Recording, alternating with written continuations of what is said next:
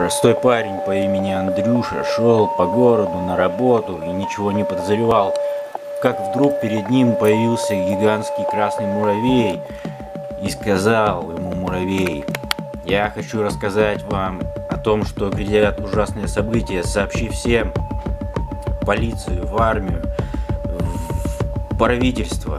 Но Андрюш сказал, посмеялся, сказал, что ты красный как залупа, и пошел дальше. Тем временем в лаб- секретной лаборатории произошло нечто ужасное. Ученые создали гигантских муравьев размером с человека, которые разнесли всю лабораторию. И пока Андрюша разговаривал один на один с муравьем, который оказался предателем и пытался спасти человеческий род, под землей в это время разгоралось нечто ужасное, огромный муравейник –